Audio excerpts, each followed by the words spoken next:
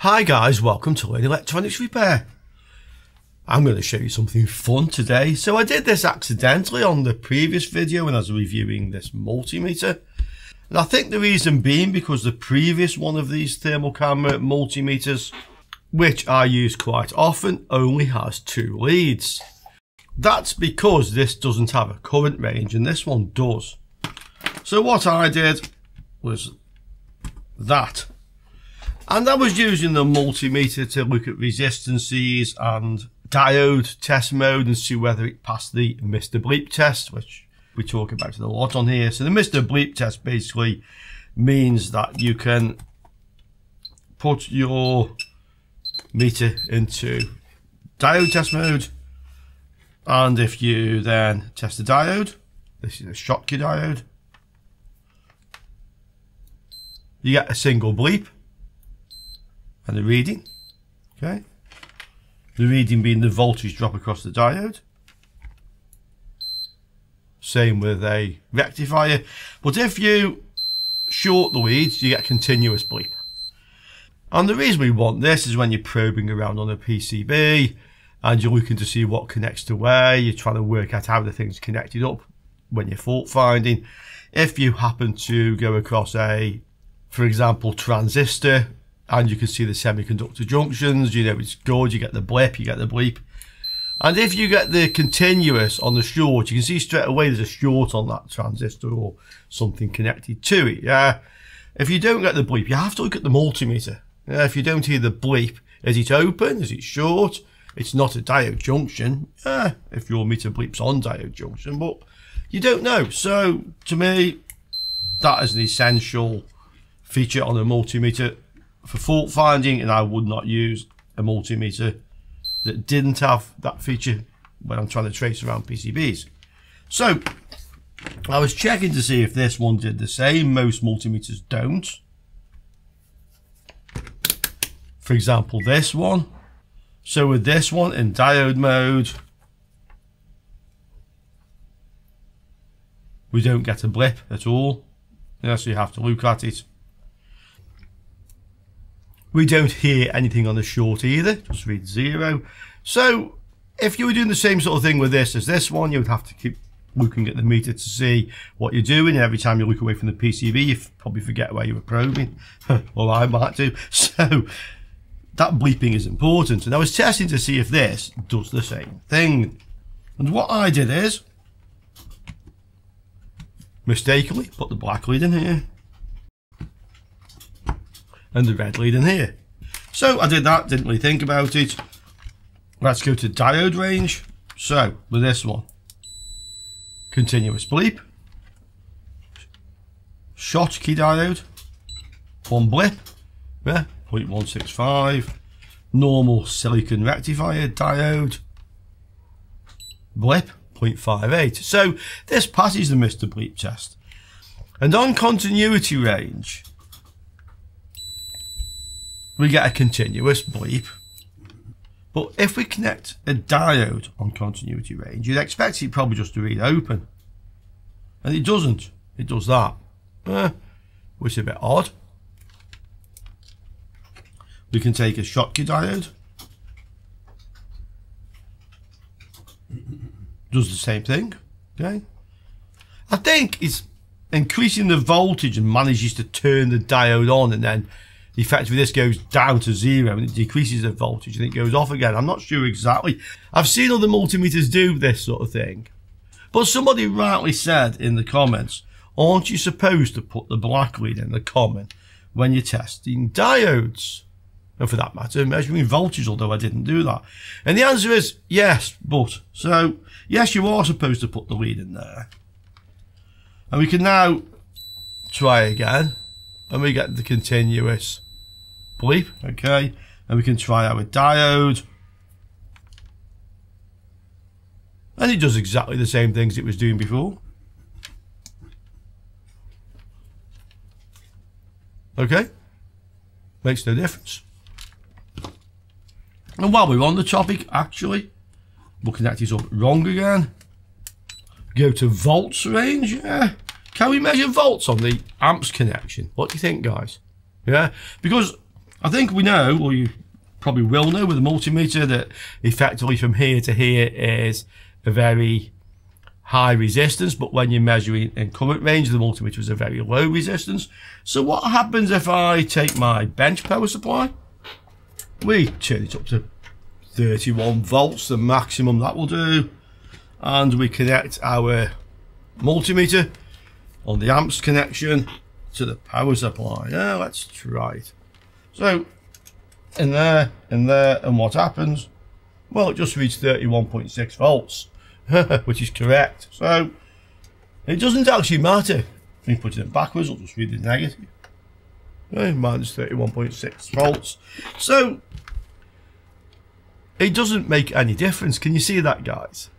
There is a difference, which I'll talk about. But from the point of view of testing volts, ohms, continuity, diode, and for that matter, capacitors, oh, there it goes. They always take a few seconds, these multimeters on high value capacitors. Yeah, 2.34 millifarads or 2200 is actually is microfarads. Okay, so it reads them just fine. And anything else you would do using this terminal, it doesn't really matter if you put that in the common or the A. Now, that applies not only to this multimeter, but if I go to my other multimeter here, stick this into the 20 amps one. So with this multimeter, again, I'm in ohms range now. Continuity works just fine. We can check a diode and continuity range on this one. Doesn't act crazy like the other one. Diode mode, fine. Measure a resistor, 10k resistor. Yeah, 10k. Volts, AC or DC by the way. 32 volts, 31.6 volts. So that does it as well. Why? Well, let's just have a look at how the multimeter actually works. And it all comes very clear actually. So, your multimeter.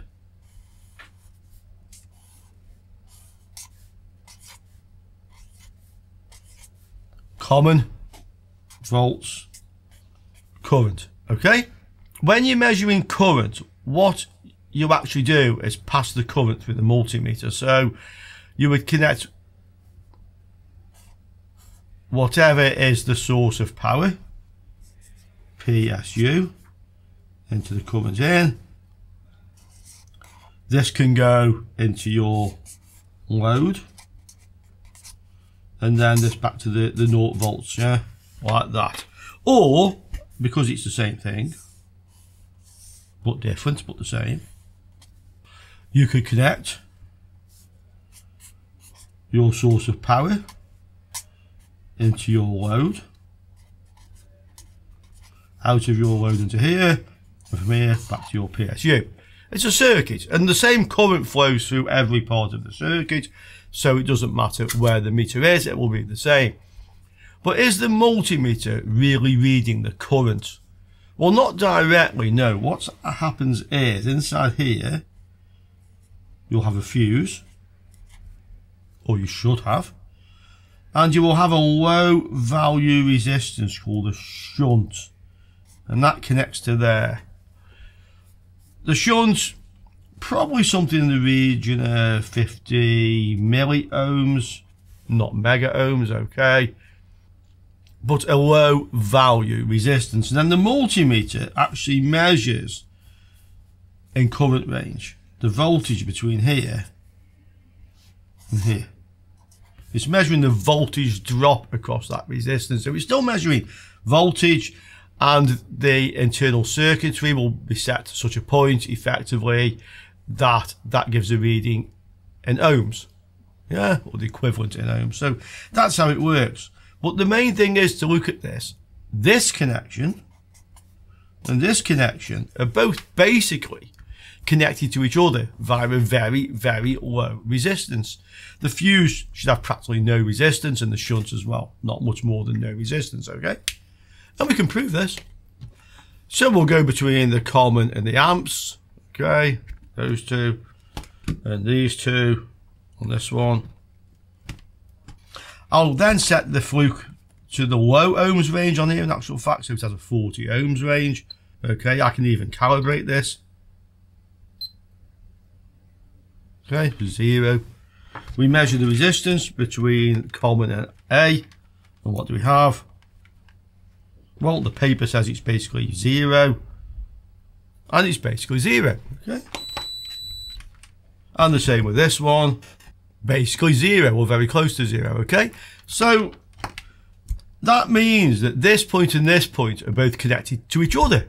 So when I'm measuring voltage or diode mode or resistance or capacitance mode when it's plugged in like that, to all intents and purposes, is the same as if it was plugged in like that. And that's why it worked.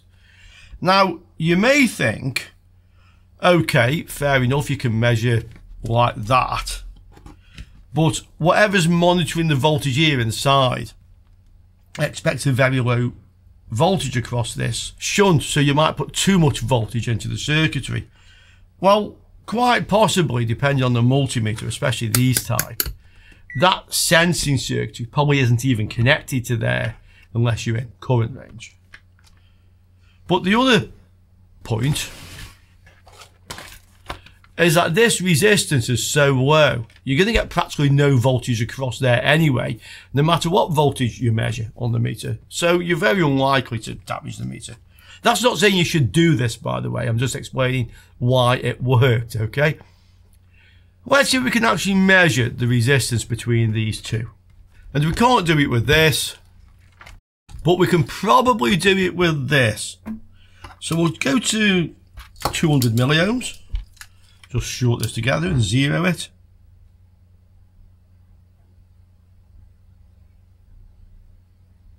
Yeah, okay. What's the resistance between the two leads when they're connected? Between common and amps, yeah? Well, that's reading about 136 milliohms, and let's try on the other meter, the Zoyi. Similar, slightly higher. But remember, these leads have some resistance. So let's disconnect the leads. And let's see if we can get the Kelvin probes down here. That's reading 42 milliohms, 42 and a half. This one, probably the same, but we'll see. Lower. So they use different value shunts. This one is probably actually a 50 milliohm and this is probably a 25. So they're using different value shunts. But it's a very, very low resistance a couple of points. One is that this only works on the amps range. If I go to this multimeter, which has a milliamps range, because the current is much lower, the shunt is actually a higher value. So, although this is effectively connected to common, this one isn't. Okay. And the other interesting point, is there any use to this knowledge? Well, there is one useful thing about this. And that's if you want to know if the fuse is blown in your multimeter, the current fuse, because it's not working properly or not working.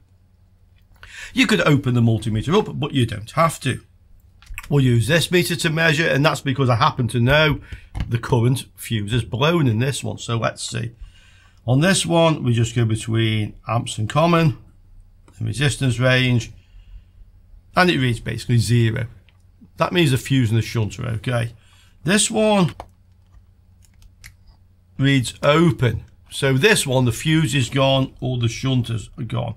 Yeah, chances are it's a fuse, but you'd have to open it up to have a look. So there's actually one useful thing we can take away from this. All the rest, well, I think it was fun and interesting. So you understand a bit more about your multimeter now. You understand why this worked, even though it was connected up wrong. Yeah, and the more we understand, the better we get at our electronics repair. Hope you enjoyed that. Ciao for now, guys.